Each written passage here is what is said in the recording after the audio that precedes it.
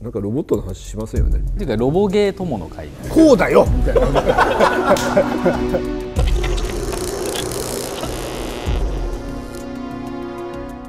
発注を受ける側としてはまずねあのまあいろんな発注があるんですけどまず発注されたことをまず100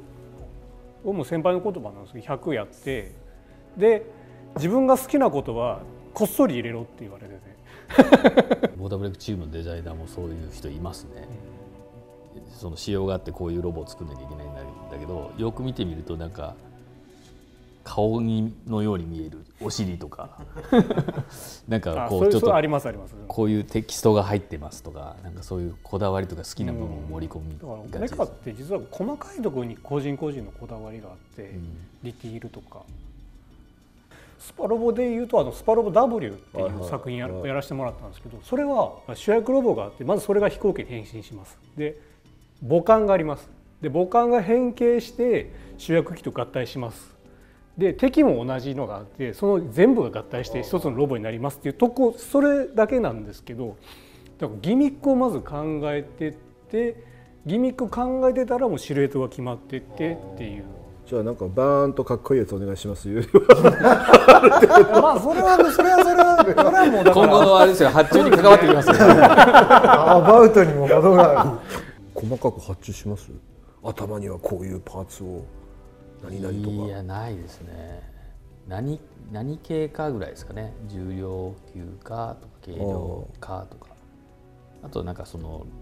ロボを作ってる世界観上の話ですけどロボを作ってるメーカーがあるのでそのメーカーがをどこにするかで大体どういうデザインになるかとかっていうのは決まったりと。か。だからデザイン的な要件というよりはそのゲーム的な前提条件みたいなこういうことをやらせたいっていうのがあるとこう早い気しますね。早いというかアプローチが早い。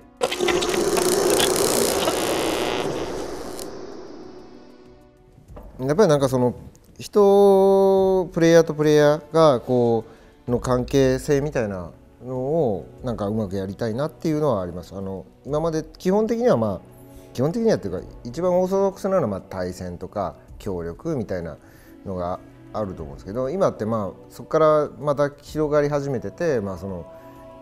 えー、YouTube で実況する人がいたりとかでプレイヤーとの人とプレイヤーの人がこうつながっていく面白さだったり、まあ、僕はずっとアクション作ってる人間なんでアクションって結構こう一回性みたいなところがあって同じこともう一回やれって言われても多分もうできないみたいなそういうこうミラクルみたいなのが起こるのをこうそういうまあ自分が今までは今まではというか昔ながらのゲームってこう自分が一人でやってうおすげえってなったのをこう共有するとか、まあ、そういう感じの方にやれるといろんな面白いことができるんじゃないかなとは思いますけど。さっきあの渡さんがおっしゃってましたけど、まあ、ロボットはキャラクターなんだみたいなキャラクターとして位置づけてるみたいな話ありましたけど、まあ、僕もそれ同じく同感なんで少女キャ少女ロボとか少女メカとか美少女メカとかっていうのもまあ今の時代見てると今後も受けていきそうだなとかっていうのがあるのでなんかロボメカメカしいロボットっていうよりはこうちょっと人間の要素もあるようなアンドロイドっぽくって、まあ、それ男女もあってみたいなロボットのゲームがもしかしたら多くなっていくかなとか自分もちょっとやってみたいなみたいな感覚はありますね。まあ、最近映画とかでもよくそういうキャラクターの人間っぽい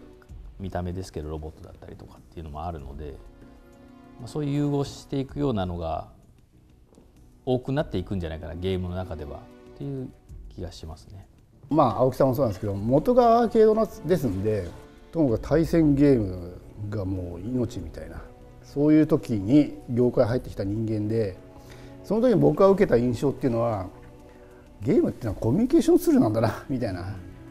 その当時は確かにネットとか全然なかったですけれどもその対戦台でみんな群がってこう情報交換しつつそのなんかゲーセンの形がなんかノートみたいなのあるんですよ。でそこにみんないろいろ書いてそれに対してなんか返信とかついちゃって 読んでいくとなんかそのロゴを読む感じでねなんかみんなやり取りしててとかあるいはオフ会みたいなこともやっててこういうこういろんな人のコミュニケーションが発生する起点としてのゲームあるいは場所としてのゲームセンターみたいな。でそういうところでみんなが盛り上がれるツールが作れたらこんなに幸せなことはないみたいな。そんな気持ちで僕はこう最初仕事に取り組んだもんなんですけども。で今こう数十年経って思うんですけどもゲームはコミュニケーションツールであるっていう直感は全く間違ってなくて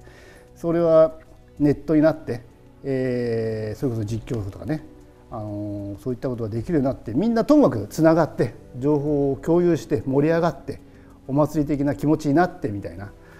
そういう楽しみ方をやっぱり常に求めてるしその中心コンテンツとしてゲームがすごく扱いやすいものなんだなっていうところって全然変わんないですよね。今のトレンドでどういったものが好きかっていう時にもしかしたらロボットはニッチかもしれないし、えー今だったら美少女とかそういったものかもしれないでもなんかあのそういったものを組み合わせた時に、えー結果的に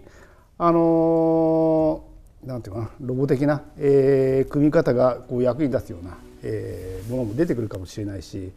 面白いことができるような予感しかしないみたいな。実は今時ってあんまりゲーム売れないんですよね。パッケージとかも結構厳しい、えー昔はこう10万売ってたものが結構しょしぼんできてるみたいな時もでもあるんですけれども。でもなんかやっぱりまだこんなことができるんじゃないか。いやいや今までやってきたこういうことがそもそも錆びついてるんでここつっついたらどうなるんだみたいなね。なんかそういった部分ってやっぱりまだまだ山盛りでなんかこうひたすら試してみたいですね。こうそういった部分の何か一つに、えーロボが噛み合うとまたロボゲーになるだろうし違うものだったら違うものになるんだろうなみたいなところの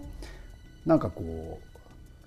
最前線にまだ自分がいられるっていうのが嬉しいしそれがまたユーザーの皆さんに還元できるとみんながハッピーになって嬉しいなみたいな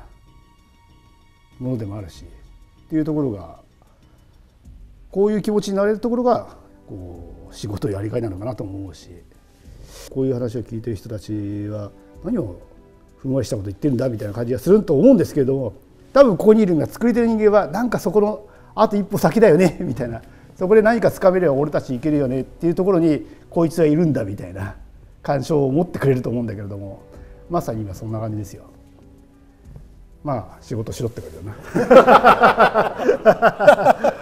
な。いいこと言いますねすいません。いやさっきなんかこんなことやってたからちょっともう酔っ払ってんのかなと思った 僕はですね、まあ、ロボットゲームのシミュレーションやってきて究極やっぱロボットに乗りたいなっていうのがこうあってで PSVR を遅まきながらエースコンバット7のために買って、まあ、実際やってでもやっぱすごい面白いんですけど、あのーまあ、エースコンバット7の話なんですけどコクピットに座ってる感がすごいよくできててやっぱコクピットに座りたいなっていうのがあるんですね。でそれも今スクエニさんのあの星と翼のパラドックスある程度密閉された空間で本当にパイロットスーツをコスプレで着てヘルメットつけてやるゲームが作りたいですそこまでなりきりたいなっていうのがあってそれはやっぱり家だとちょっとその日本の家庭事情だとまあ作れないじゃないですか。日本の家にあるコックピットって何だって言ったら車の中なんで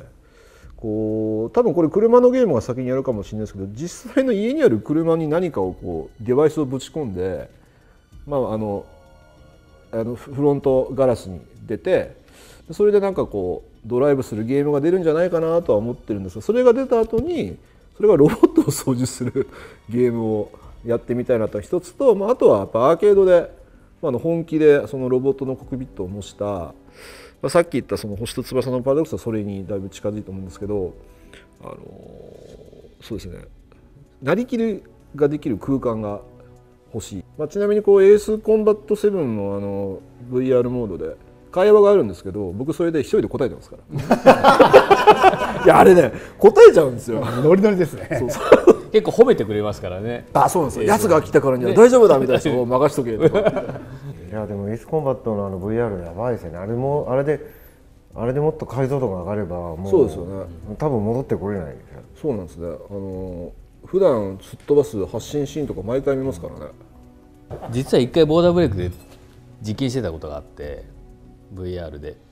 ただもう偉い人も我々も開発もみんなもうすぐゲロってますね。1バトルぐらい大体数十秒ぐらいでもうってなっちゃうんでみんなもう酔い止め飲んでやってましたね。酔い止め飲んで検証して作って。あれはねちゃんとやろう作ろうとすると相当いろいろノウハウがいるっぽいので、僕もまだやったことないですけど V- AS コンバットのあれも最初はもう同ですよね。じだったって言ってましたよねめちゃめちゃに酔う。僕もそうです。ス 3D 酔い強いんで割と平気なんですよ。で一回この間家でじゃあどこまで限界やるか試してみようって言ったら やっぱりちょっと。ああこれはダメだ回転しすぎは良くないとか。はあの VR で俺アーガイルシフトっていうバンダイナムコさんがその VR の施設作ってそれが、まあ、自分がデザインやらせてもらってあの荒牧監督があのディレクションされたんですけどあれは本当にいわゆるアーケード的なんですよ。VR かぶってでこう本当にスティック持ってでシートが動くっていう。で入ったら本当にこう 3D の女の子が横にいて全部教えてくれるっていう。これ理想だなと思って。これが家にあると最高だなっていうのがあったんで、まあ、ちょっとね寺田さんと一緒なんですけどそこは俺は VR でもいけるような気はしてるんですよね。うん。い家では VR なんですうんうん。うん外であそうですね。本物ってやつで、うん。だから同じそれはわかります。作ってみたいな。であれば。今の VR はちょっとまだこう人体に負担がありますからね。このフレームのこうパタパタの見せ方俺が。昔あの360って、はいはいはい。あれも大好きでわめちゃめちゃやりに行ってもう本当に一瞬のためにお、ね、わざわざ1時間電車でかけて大阪まで行ったりしたんですけど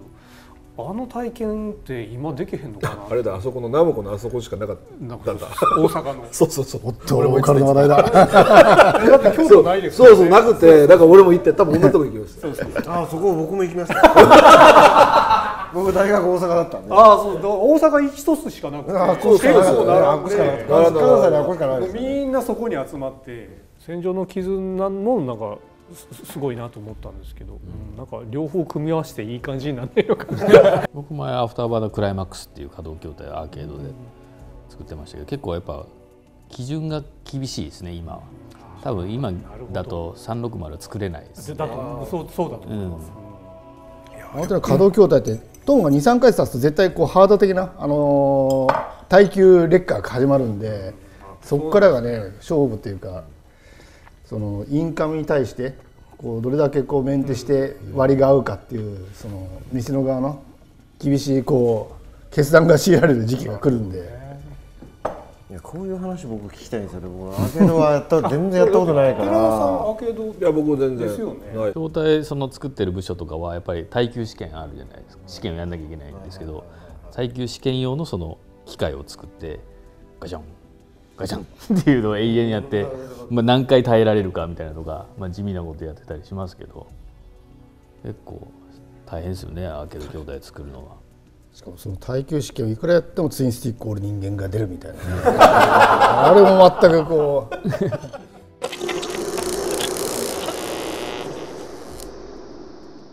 俺本当まあレフトアライブよろしくお願いしますっていう。本当にあのねスクエニのコンシューマーでロボットって本当に久しぶりな気しますよね。それは本当にフロントミッションのシリーズとしてもそうですけどぜひ一度プレイしていただければと思います。予約しました。ありがとうございます。当然限定版ですよね。そうです。もちろんもちろん。えー3月20日にですね、えースーパーロボ対戦 T という新作が出ますのであの柳瀬さんがデザインされた、えーマジンガーインフィニティのマジンガー Z も出ますんで、あのレフトアライブプレイした後いやもしくは一緒に、えー私のスーパーロボ対戦 T もよろしくお願いします。谷田さんという会社の社長がですね めっちゃバーチャルのファンで ツインスティックの。そうツインスティックのクラウドファンディングやってこれは達成されちゃったんですよ。なんでされちゃったんであのツインスティック作ってるんですよね今。それで、まあ、セガもそこの熱にちゃんと応えないといかんだろうってことであの一回実はねあの谷田さんがこういうことやってるんで我々もやるべきじゃないですかっていうことであのアーケードの旧三部作って言われてるバーチャルのシリーズあるんですけどもこれの移植やった方がいいんじゃないですかっていうのを去年の春ぐらいに一回プレゼンしたんですけどボツったんですよ。ボツ これこれ大丈夫。ボツったっていうのはもうすでに言ってるんで。でもなんか谷田さんが本気出しってものが分かってきてやらずばなるまいみたいな会社の流れできてなんか突然上の方からやりなさいみたいな話になっちゃって本当島に行ったのになと思いながらあのやることになりましたんで。それここ初出ですか？ここで言っていいですか？もう大丈夫。大丈夫ですか？ええあの松原社長がもうやるって言っちゃったんで我々もう引くに引けないんです。じゃあもうオープンになってるそうなんですよ。もう。おめでとうございます。はい、いや頑張ります。11月ぐらいかな、多分に予定通りであればツインスティックと、えー、3部作の移植が出るはずです。よろしくお願いします。PS4 です。11月で大丈夫ですか？11月って僕はリクエストしちゃったんでなんか？とは11月27日ってあの初代バーチャルのロムラシした日っていうことで誕生日なんですよなんでその日に出すとキリがいいのではって言ったらその日になっちゃったんですよ。なぜこんな自分を今追い込むのか、ええ。頑張ります。でも遅れるかも。みたいな。はい、えー、ボーダーブレイク去年の8月に PSO 版リリースしまして、えーアーケードも含めるとですね今年の9月でなんと10周年になるんですね。あーありがとうございま